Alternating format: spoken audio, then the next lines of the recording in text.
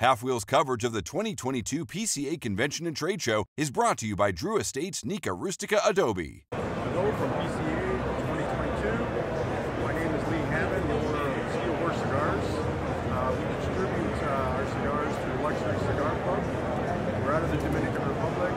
We have a new cigar that uh, we just released. Should be available sometime in August. It's called Snake Eyes.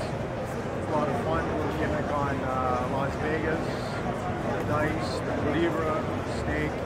Um, give you a little peek at it. Even has a little rattle for a rattlesnake. halfwheel's coverage of the 2022 PCA Convention and Trade Show is brought to you by Drew Estates Nica Rustica Adobe.